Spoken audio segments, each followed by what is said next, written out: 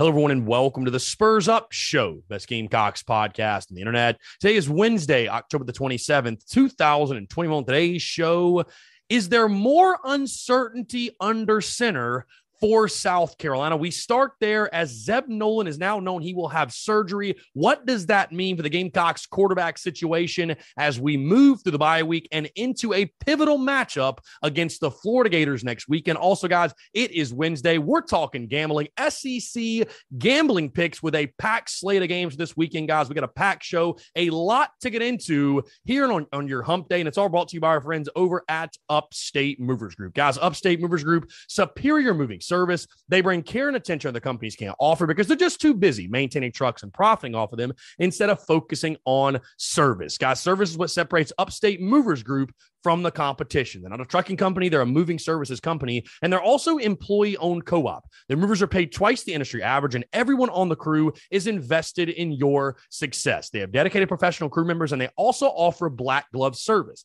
They offer end to end packing services, custom crating and packaging professional items, and cleaning services as well. They're founded by Greenville natives and University of South Carolina alumni guys, so a Gamecock owned small business. They also offer 20 years of project management moving experience, and they can offer logistics and solutions solutions that traditional moving companies simply do not have the skills for. Guys, whether in the upstate or across the state of South Carolina, if you have any moving needs in 2021, be sure to check out our friends over at Upstate Movers Group. You can find them on social media at Upstate Movers Group. Of course, if you have any other questions, go to their website upstatemoversgroup.com. That's upstatemoversgroup.com. Be sure to check them out and tell them Chris from the Spurs Up Show sent you. Let's get it.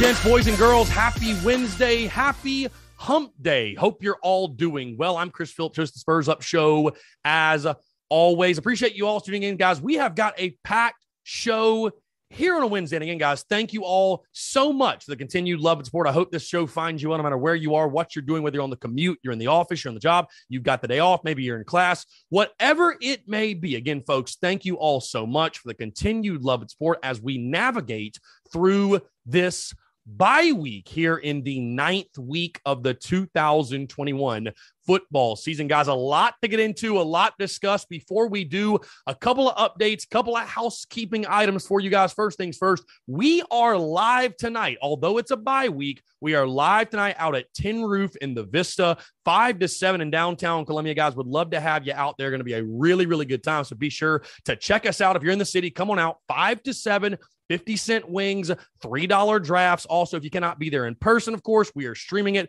on Facebook, YouTube, Twitter, Twitch as well. Going to be a really, really good time. Again, Tin Roof in the Vista, downtown Columbia, 5 to 7. Also, a quick scheduling update for those who maybe were unaware. Obviously, with the bye week, normally on Thursday, we break down the game that is to come that weekend. Friday is normally our prediction show, Monday, then being a recap, and Tuesday being our recap with Alex McGrath. Well, obviously, there is no game this weekend. So, a quick update in case you missed it no podcast or Daily Crow tomorrow Friday, and then next week, Monday and Tuesday. Yours truly, of course, with it being the bye week. I know it's really a good time for us all for this football team, but also for this fan base during the bye week to take a deep breath, maybe take a step back, reevaluate, and uh, decompress just a bit from what's been a very interesting first eight weeks of the 2021 football season. But yours truly will be going on vacation. So there'll be no podcast, no daily crow. Again, no need to fear. Of course, there will be content all over social media. You guys know I can't stay away from it that much, but no podcast no Daily Crow, and we will return next Wednesday when we really start breaking everything down, looking ahead of the Florida game that weekend. But again, just wanted to update you guys no podcast, no Daily Crow tomorrow. Friday, and then Monday Tuesday. So again, enjoy your time off, enjoy the bye week, watch some of the football, go on vacation, do whatever you want to do. Yours truly going to be drinking some cold ones, hanging out, having a good time, taking in some views, really relaxing and decompressing and shutting the brain off a little bit, if you will. But uh, no, just stay tuned to social media, guys. Still going to be a ton of content. Who knows with the Gamecocks? The Gamecocks news for South Carolina truly never sleeps. Also, by the way, keep this in mind when we get back next Wednesday because basketball season actually starts next week. The women having an exhibition on Monday, men exhibition on Thursday. That Wednesday show, we will return, right, in a lot of glory, right? We'll return talking Shane Beamer's presser. We will talk gambling, and it's going to be our big basketball season preview show for both the men and women. So, again, that'll be projections, predictions, everything you need to know about Gamecocks basketball going in this 2021 2022 basketball season. But again, just so you know, just there's no surprises, no podcast, no Daily Crow tomorrow, Friday, Monday, and Tuesday. So again, enjoy your bye week accordingly. And of course, yours truly will be on social media. If you guys need anything, obviously reach out to me. We'll be continuing to post and all that good stuff, but no podcast and no Daily Crow due to the bye week for the next four or five days or so. All right. With that being said, though, we got a show today and we got a lot to get into. Um, sort of a shorter show, obviously, because Shane Beamer did not have a Tuesday presser. The big piece of news coming out surrounding Gamecocks football this week, something we did not get to get into on yesterday's show with Alex McGrath because it came out so late on Monday. But it's official. Zeb Noland is to have surgery on his meniscus.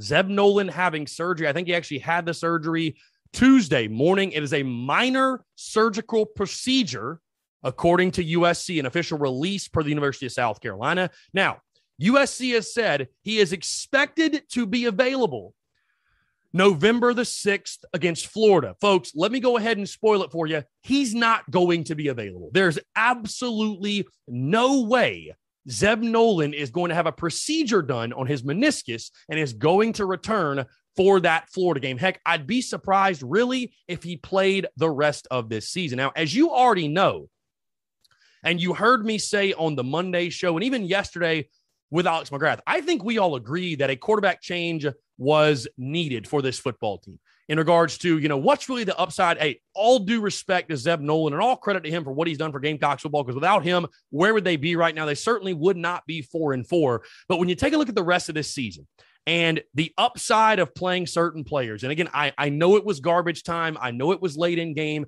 but you look at what Jason Brown did. His escapability, obviously, Luke Doty's out for the rest of the year, but Jason Brown's escapability, his arm strength, his poise, his moxie. It looks like he has improved a ton since he stepped foot on campus. Why not give someone else a shot? Why not give someone else under center a look for a struggling Gamecocks offense? So, again, guys, I know nothing is official, but I think it's unofficially official. This is the beginning of the Jason Brown era in Columbia. Again, how long will that era be? Who knows? But when you let you take a look at this Gamecocks football program and building for the future, and Jason Brown, a guy that will be back next year, there is so much more upside, in my opinion, playing a guy like him, or even a guy like Colten Gauthier, than there is continuing to trot Zeb Noland out there, especially behind a shoddy offensive line. And we saw what happened to him against Texas A&M. I mean, it was it was a bloodbath for Zeb Noland. So again, I would say, guys, I would expect. I don't think you'll hear anything this week because, again, it is the bye week. Shane Beamer, his staff are out recruiting.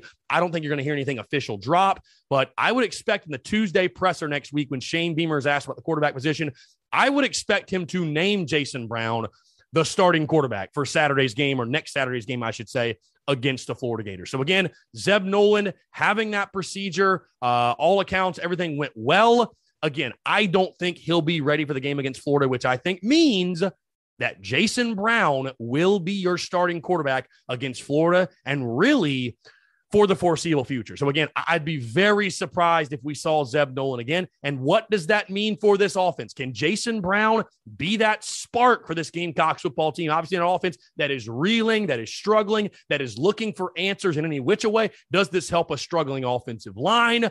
Who knows? Sometimes changing that one guy, sometimes changing that one guy can have an even greater impact than we expect. So again, the quarterback situation, I mean, it's been crazy. We all thought just in the preseason it was going to be Luke Doty and that's it, no drama. And sure enough, it has been the complete opposite. So again, Zeb Noland looking like he's going to be out with that meniscus injury. Jason Brown taking over as QB1. Going to be really, really interesting to hear what Shane Beamer's got to say about it next week and also follow this and just see how the young man performs. And again, obviously did some nice things at the end of, at the end of that Texas A&M game. Can he carry that over? Uh, what's his confidence level like? Can he go into this game against Florida? Can he give this Gamecocks offense some sort of spark? That is the question mark, and I'm very excited to find out the answer to that question in just a short couple of weeks. So again, that is the story. That is the skinny behind South Gunna's quarterback situation. Going to be fun to see how that evolves. All right, it is Wednesday, guys. No best bet, obviously, with no South Gunna game. So we're going to skip that and dive right into SEC gambling picks, which SEC gambling picks, guys, again, brought to you by our friends over at Prize Picks. Guys, if you are not playing with Prize Picks, you are missing out. We are crushing it right now on Prize Picks, continuing with our Prize Picks plays the week. Guys, sign up for Prize Picks, prizepicks.com and or the Prize Picks app. Everyone who signs up, use the promo code TSUS, you're going to receive a 100% instant deposit match up to $100. Guys, what is Prize Picks, you ask? It is the simplest fantasy game on the market focused around prop total entries, all around prop plays, guys. Here's how it works you pick two to five players, and you can win up to 10 times on any entry. Guys, Prize Picks has no sharks, optimizers, or mass multi entry. It's simply just you against the projection. It also allows for mixed sports entries. So, for example, you can take the over on LeBron parlayed with the under on Patrick Mahomes, parlay with the over on Josh Vann or Jason Brown or Kevin Harris or whoever. By the way, the thing that makes prize picks so dope, you can play prop plays on basically any other book, but here's the thing only prize picks has the college totals, has the college football over which makes it so much damn fun for obvious reasons. Guys, Prize Picks also is a slick, easy to use mobile app, both in the App Store and Google Play. They're also rated 4.8 stars in the App Store with rave reviews. Again, guys, if you are not playing with prize picks yet, over 150 of you, by the way, have signed up with prize picks. Again, thank you all so much for the love and support there. We are having a blast with prize picks, though. So many of our followers, so many of our of our listeners and our fans have made a ton of money on prize picks, and you could be next. Again, prizepicks.com and or download the prize picks app. Use the promo code TSUS at sign up to get a 100% instant deposit match up to $100. And guys, again, not only are we making money on prize picks, but also our plays last week. How about this? Yours truly. Finally, we had that big week we needed. 3 0 1 last week. We are now 35, 30, and 1 overall. So, again, a little bit of breathing room now with the overall record. 4 and 4 in our best bet. Again, I told you guys Aggies minus 21 was the play. And sure enough, it wasn't enough, but 35, 30, and 1 overall. 3 0 and 1 last week, and we're looking to stay hot. Let's make it back to back weeks. Let's stay hot again. We got a great slate of games. Only four games this week, by the way. No noon kickoff in the SEC. Gotta love that. But only four games, but some really, really intriguing matchups. We're going to start with Vanderbilt taking on the Missouri Tigers. Missouri, a 16 point favorite. The over under set at 63 and a half. Here's the intriguing thing about this one, guys, because most people are going to look at this and say, oh, Mizzou minus 16. It's a no brainer. Mizzou is 0 and 7 against the spread this season. They are one of the worst in the entire country against the spread. So I'm very hesitant to take the Tigers. For that reason, I'm not going to do so. Under. I love the under. Hammer the under 63 and a half in this ball game. The best pillow fight in the SEC this weekend. Vanderbilt against Mizzou. Under 63 and a half will cash in Nashville this weekend. Florida taking on the Georgia Bulldogs in the world's largest outdoor cocktail party, or as it was once known as. Either way, that's what I'm going to continue to call it. Georgia, a two touchdown favorite in this one. Dogs minus 14. The over under set at 51 and a half. Guys, again, I told you guys this with the Georgia games. I'm not even worried about the spread. It is a big spread, but Georgia, an elite Florida, how inspired are they? Dan Mullen, obviously, I think coaching for his job damn near at this point. The under 51 and a half, guys. The under in every Georgia game is to play this season. That defense is dominant. Under 51 and a half. I am hammering that all day long. Let's move to the Plains. Auburn taking on Ole Miss. Now, this one surprises me. Auburn is a two and a half point favorite in this ball game. The over under set at 66 and a half. I understand the games in Auburn. I understand Auburn's been a much improved team to what I expected and expected them to be this season. With that being said, I don't understand this line at all. I'm taking Ole Miss plus two and a half. And guys, I'll tell you this Ole Miss money line, I think is a fantastic pick. I think Ole Miss is so much better of a football team than Auburn is. I would not be surprised to see Ole Miss win by double digits. Give me the Rebels plus two and a half. And hey, if you're feeling frisky, take the Rebels straight up in this. I mean, heck, you're only getting two and a half, so you might as well take a money line anyways. Guys, final game. Mississippi State taking on the Kentucky Wildcats. Kentucky, a one and a half point favorite. The over and set at 47. Now, this is another intriguing game, guys. Remember what I told you a couple weeks back? That when the line starts on one side and it swings across the number all the way to the other side, you either bet on the side it swung to or you don't bet at all. And that happened in this instance. Mississippi State opened for some reason as a two point favorite.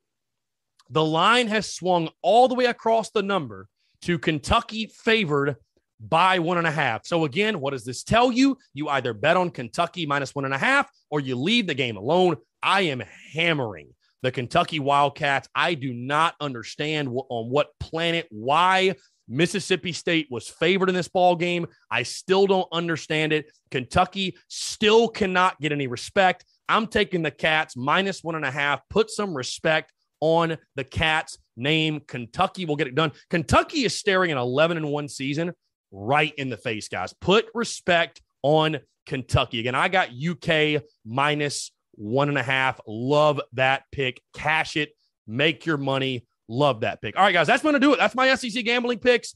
Uh, that's going to do it for our Wednesday show. And guys, that's going to do it for the next couple days, man. We're going to be on vacation in the great state of Florida in Orlando, going to be riding some rides, hanging out, chilling, having a good time, folks. Again, thank you all so much. And I'll say this thank you all so much for the love and support because without you guys, you know, I wouldn't be able to take a couple of days off and relax and, and go hang out and go on a vacation. And I, it's something I don't take for granted. I, I, feel so blessed and grateful that we get to wake up and do what we do and create content and put value out in the universe. And, and you guys are there each and every single day, each and every single step of the way, continuing to show support, show, show love. So, again, guys, thank you all so much for the continued love and support. Very excited for next week to get into Florida week, start dissecting this thing, breaking this thing down. You know, with Salcona guys, there's never a dull day covering the Gamecocks. So I'm sure between now and then news will drop. We will talk about it. Stay tuned to social media. But again, no podcast, no Daily Crow tomorrow, Friday, Monday, and Tuesday. Guys, enjoy yourselves.